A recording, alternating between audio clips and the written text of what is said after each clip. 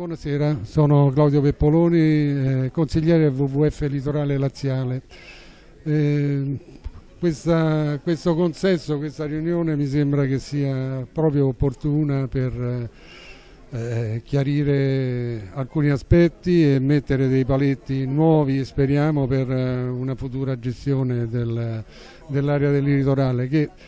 eh, diciamo, non dimentichiamo come WWF, lo voglio ricordare, eh, eh, il litorale romano rientra nella riserva naturale del litorale eh, romano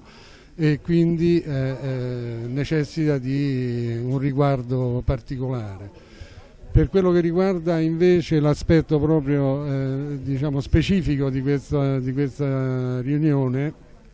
che verte sulla gestione degli stabilimenti balneari, degli accessi al mare, eccetera.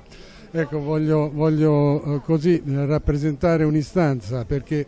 come WWF noi eh, ci preoccupiamo di difendere la natura e l'ambiente. Ora proprio a ridosso di Ostia abbiamo un ambiente dunale che è di una preziosità eh, eh, unica e che subisce una pressione antropica eh, devastante proprio per il fatto che nei 9 chilometri diciamo, di litorale romano che ricadono poi nel decimo municipio, tutta la parte che è antistante il centro abitato è occupata da stabilimenti, quindi i cittadini sia della, residenti ma sia le migliaia e migliaia di eh, eh, balneari che eh, eh usufruiscono de, de, del servizio si riversano dove possono e quindi questo eh, eh, porta ad un